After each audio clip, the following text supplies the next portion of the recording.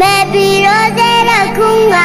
या अल्लाह तो फीक दे नमाजे पढ़ने जाऊंगा या अल्लाह तो फीक दे